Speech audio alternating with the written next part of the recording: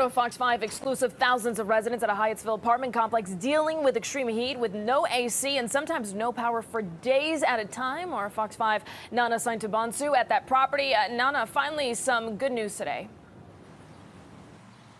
Some good news. I'm told by county leaders that the Bedford Station apartment complex right here off of University historically has the most violations in Prince George's County. Go ahead and just take a look at these buildings that were built in the 1960s. We've been told that they've been neglected by previous owners, and unfortunately, it's the residents who are dealing with the years of neglect. There are about 600 units here, and we're told each unit has about 5 to 11 people living inside. Now, this is a large community community that has a huge Hispanic population here in Langley Park who have been dealing with this for years now. This is nothing new, but because of the language barrier, their concerns they feel are sometimes go unheard. But this summer, it's been tough. Residents who live here tell us that when everyone has the AC running in their units, the power goes out. And when the power goes out, they are without, uh, without electricity for days, meaning no air, food in the fridge is spoiling, and everything else that comes with a power outage. The council member of this district tells me that these buildings do not have the electrical capacity to sustain all the air conditioners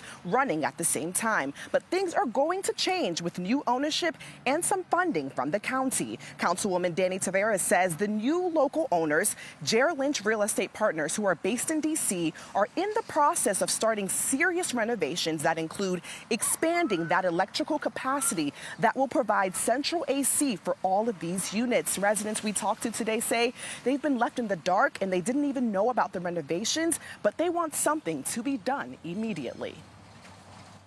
Problemas que no nos da mantenimiento, a veces nos dejan sin electricidad. Like um, the problem they're giving is like like when everything something is broken inside, they don't fix it, and power shortage because the power goes off on. It's too hot here in the apartment. There's no air conditioning here, and the heat is too hot to bear. The air they put is like this, you see, but it doesn't give anything. It doesn't work. It's on VO.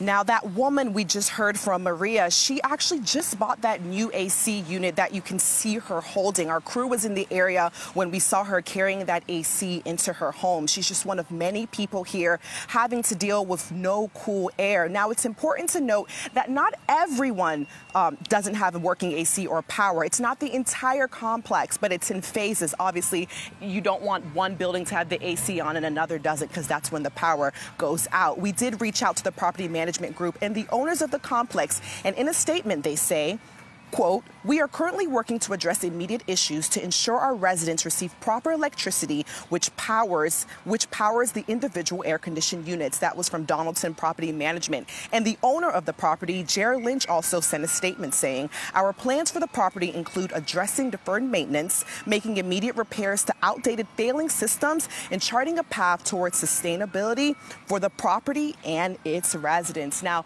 we're told that the county was also able to secure about $10 million. Some came from a housing trust fund and a couple, 3 million came from a pilot program. And they're looking to secure some more money to help with these renovations in this community that desperately needs it. Back to you guys.